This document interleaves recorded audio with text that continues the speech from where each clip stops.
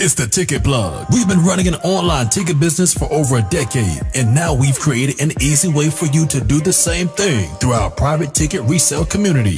Joining our community will give you a way to flip your bread and generate profit income consistently. We provide you with all the tools, training, and resources needed to start your life changing online ticket business. Zero experience needed. To join our ticket resale community, go to thetickettrap.com. Again, go to thetickettrap.com. Click the link at the top line of the description to get started right now. Don't wait.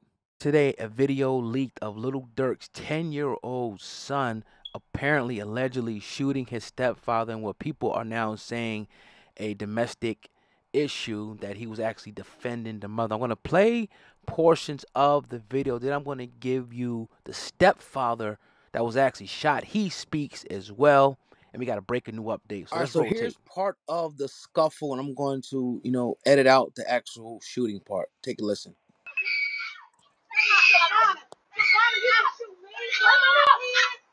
So Joshua Pippins, who was the stepfather of Lil Durk's son, put on IG, as you can see, I was not the aggressor, and y'all can see how I still had my gun on my hip. He grabbed my gun off my hip, following his mom's lead, and tried to shoot me, then actually shot me.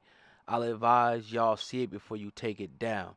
Um, so look, th- this is a wild, wild situation. A lot of people are deeming this little ten-year-old boy a hero. Um, we all seen the tape. We all can watch it. We all can kind of, you know, get our interpretation. I'm not here to play detective. It was obviously something going on. He felt the need to do what he did. Some people may call him a hero. Some people may think, you know, he was silly. Some people may think that he was crazy. The fact is, it happened.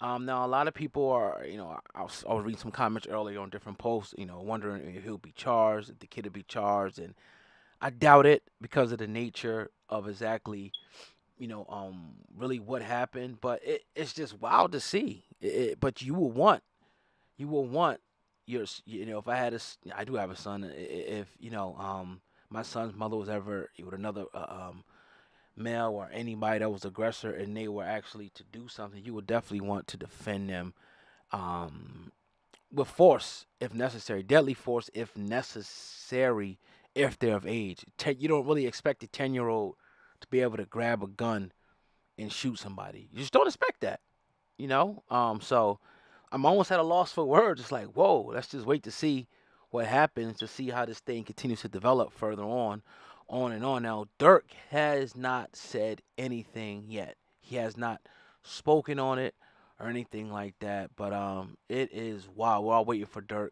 obviously. Now, um, Pippins did go on to say he, he continued to say, um, "Listen, nobody's going to jail, or they would already been there. I'm doing this for rights over my kids. Call me what you want."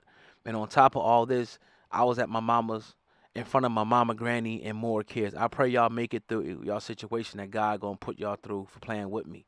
Cause everybody's going in. Everybody's, you know, saying you was about you was attacking this lady, you was, you know, the DV and all that. You was gonna do this and that. And only they kind of really know the ins and out. We could see the tape. You could take whatever interpretation.